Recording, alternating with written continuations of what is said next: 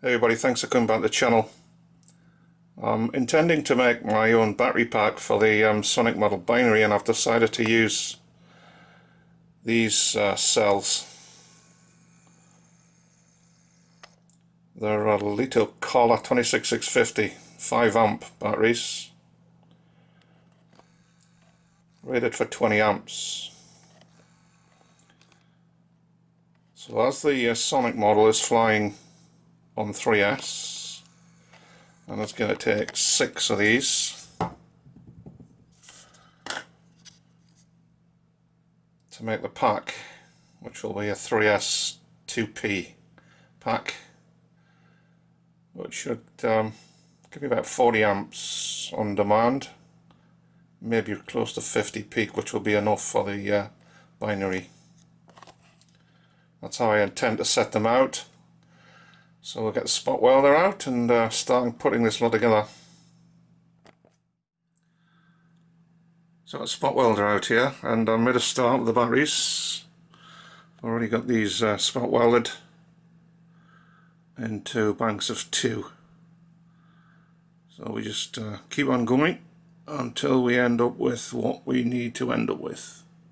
So to make the batteries go end to end you simply put straps across them. You can see the straps are the two that are parallel. And now the uh, straps that are going to make it into. And that's where do it. And that gets you an end-to-end -end connection. Now the pack's assembled. Nice and solid.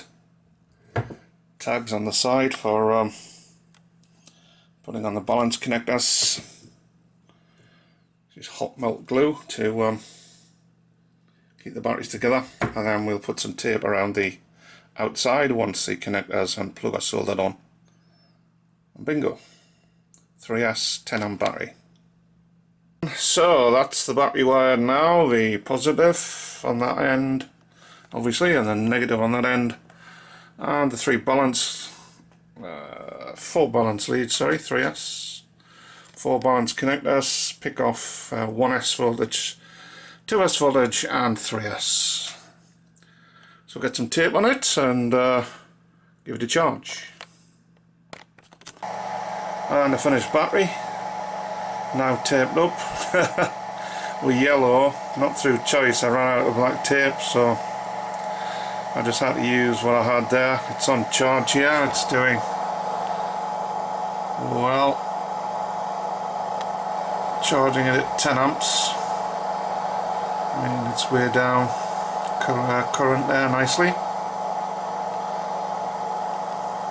Ended up 605 grams in weight so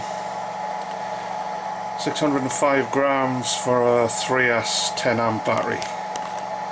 Can't be bad. Thanks for watching. See you later